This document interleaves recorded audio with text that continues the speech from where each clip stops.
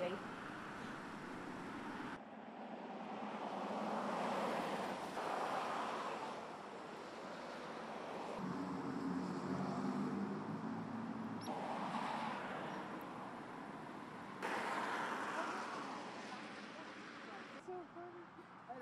I know, it's so bad. So bad.